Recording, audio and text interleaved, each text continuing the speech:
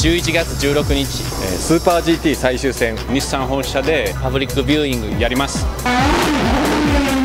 サーキットに来れない方は、え僕たちの、え走りを日産チームのチャンピオンアナウンサーの応援に日産本社から応援してください。来てください。